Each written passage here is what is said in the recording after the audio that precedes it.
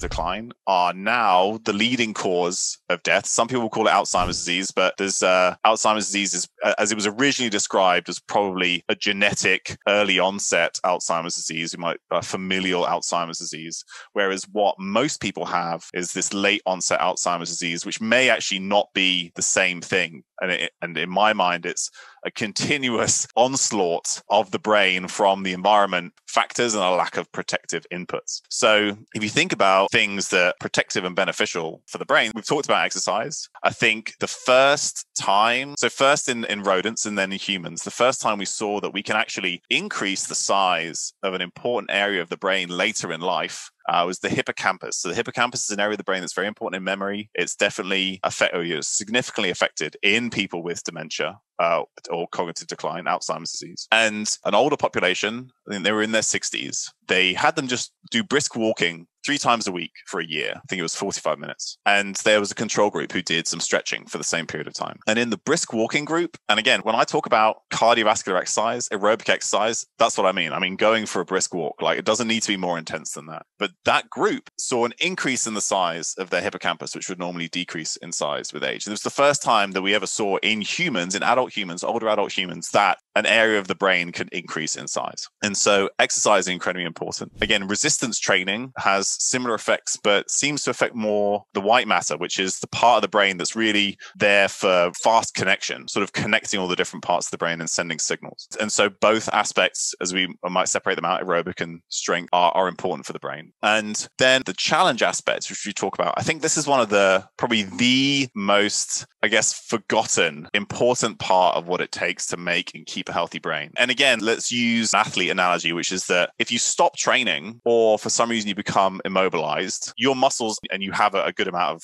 muscle, you're an athlete, right? Or you say break your leg and it goes in a cast. When you take that cast off, you'll see the leg on that size is smaller, lost muscle mass on that size. So anytime you stop um, sort of giving an input, a stimulus to the muscles, they will reduce in size because it's energetically expensive. If you don't need them, your body isn't going to keep it, isn't going to keep it around. And everything, all the evidence that exists today suggests that your, the brain is the same, right?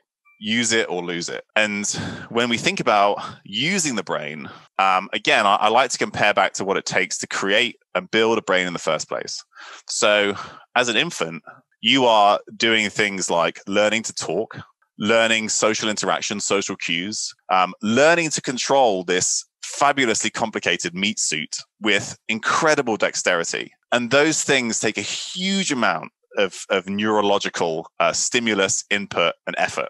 Then throughout life, um, you may you start to do things that you may think are hard, but compared to that, really not that hard. Like biochemistry as an undergrad, or learning to drive a car, um, or you know the, the the ins and outs of your job right? They feel hard but in terms of the stimulus and the the the effort required from your nervous system it's actually quite small compared to say how, learning how to control your whole body. And as we get older we just do the same things again and again. They get easier for us. They just become habits. They become patterns which don't require again any significant cognitive input. And because of that you're essentially telling your brain, hey, I don't need you to be as complex as you once were because we're not doing anything difficult. Um, and you see multiple different strands that that, that kind of um, come into this. So uh, people have probably heard about the knowledge, right? London cab drivers. You know, less so now if if uh, if if Uber's continues to be allowed to exist. But to be a, a a black cab driver in London, you had to learn the knowledge originally, which is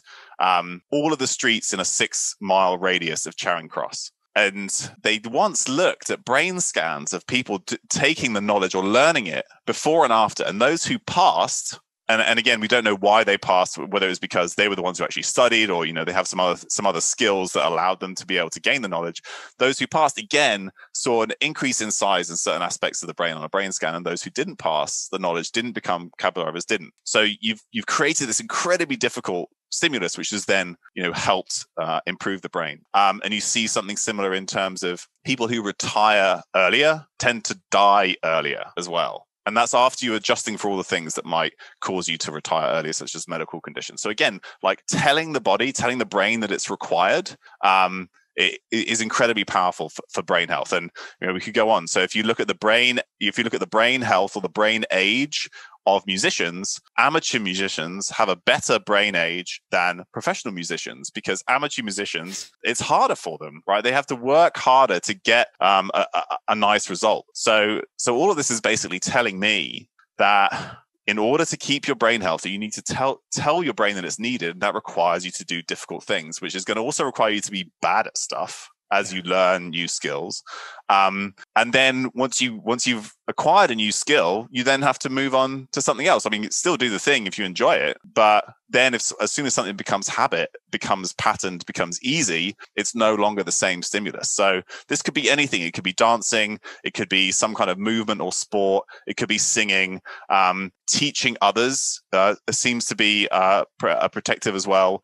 Uh, knitting. Um, I recently started to learn how to code on on my computer because you know that was something that's beneficial for my job, but also incredibly difficult. I'd never done anything like it before. So there are all these things that you can do.